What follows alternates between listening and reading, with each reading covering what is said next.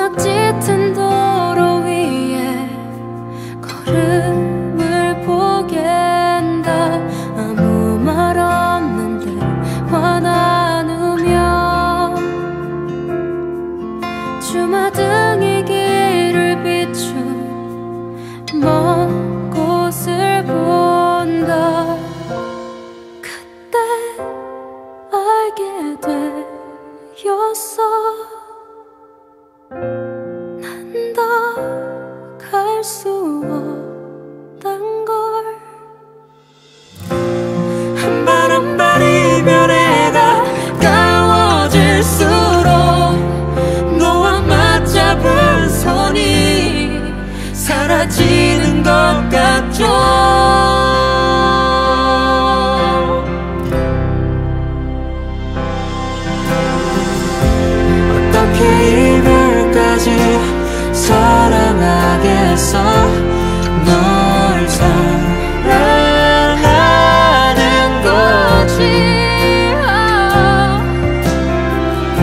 사랑 이라는 이유로 서로를 포기하고 찢어질 것 같이 아플 수 없어 난